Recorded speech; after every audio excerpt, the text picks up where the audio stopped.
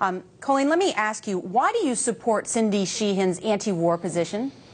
Well, I happen to be a person who spoke out publicly against the war a couple of weeks before it was started and warned that it would prove counterproductive to our efforts to combat terrorism. And if you've gone through this uh, chain of mistakes that started with the pre-9-11 lapses, and you've seen all of these errors that have occurred since, very serious to our country's security. I don't think you can do anything except continue to speak out. You're a Democrat running for Congress.